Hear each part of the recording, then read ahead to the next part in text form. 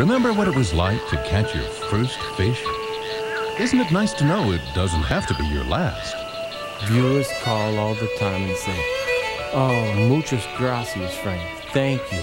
Because we watched last night, we went out this morning, we caught fish in the same place you caught them yesterday. Because even though Louisiana's Gulf Coast has more water than ground, great fishing spots aren't always easy to find. You never know whether you're going to fish the surface, the bottom, you're going to troll, you're going to cast and retrieve. You don't know what technique you're going to use until you get there.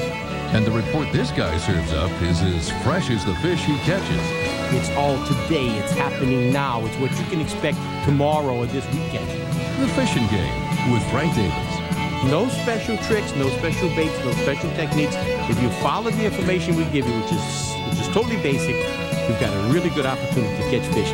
Every Thursday at 10 on WWL TV Channel 4.